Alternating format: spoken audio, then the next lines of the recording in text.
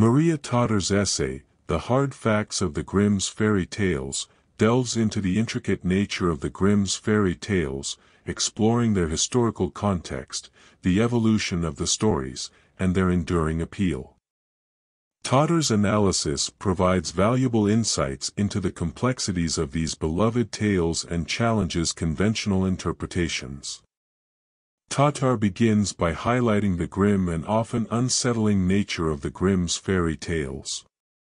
She argues that these stories are frequently seen as darker and more brutal than their Disneyfied adaptations, which sanitize and simplify the narratives for a broader audience.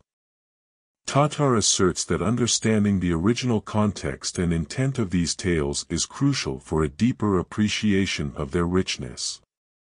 One of Tatar's key points is the notion of authenticity in fairy tales. She asserts that there is no single definitive version of these stories, as they have evolved over time through oral traditions, literary adaptations, and the Grimm's own editorial choices.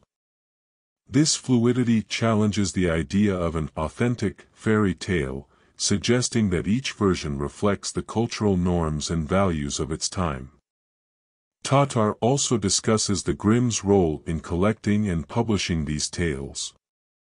She emphasizes that the Grimms were not merely passive collectors but actively shaped the narratives to fit their vision of preserving German folklore. This editorial influence raises questions about the degree to which the tales can be considered a pure reflection of folk culture. Furthermore, Tatar explores the role of violence and cruelty in the Grimm's fairy tales.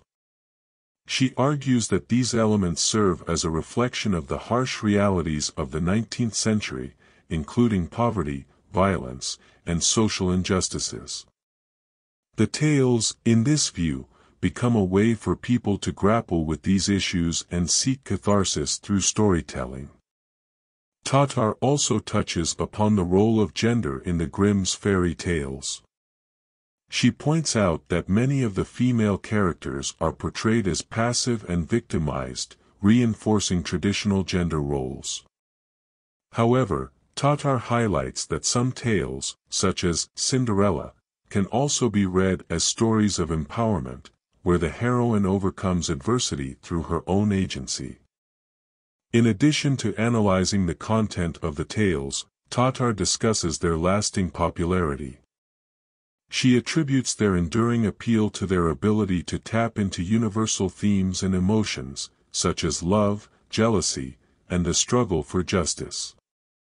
These timeless elements continue to resonate with readers of all ages. Tatar concludes her analysis by asserting that the Grimm's fairy tales are a testament to the enduring power of storytelling.